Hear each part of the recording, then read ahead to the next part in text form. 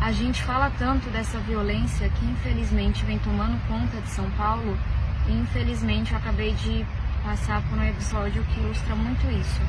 A gente estava saindo, eu e o Ricardo, do Sindicato dos Padeiros, de um evento do nosso PSB, a caminho de um gabinete itinerante, e ali na Bela Vista veio um homem, deu um murro, quebrou o vidro, é, tá tudo quebrado aqui, ó, como vocês podem ver, o chão cheio de estilhaços.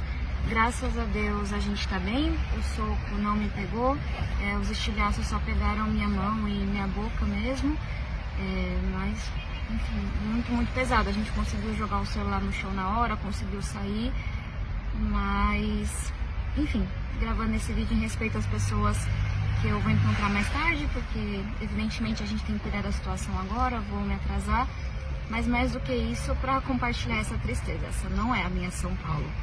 Esse não é o lugar em que eu trabalho para criar os meus filhos.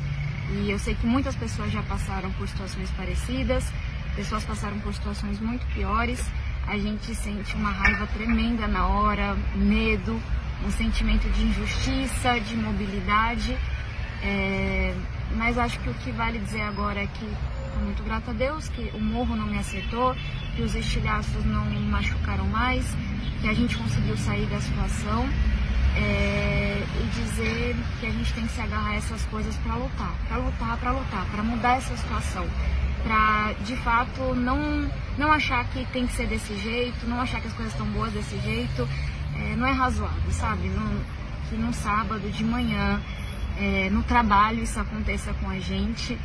Então, tô bem, graças a Deus, mas muito, muito chateada e com mais vontade ainda de mudar essa situação tão horrível que vem tomando conta da nossa cidade.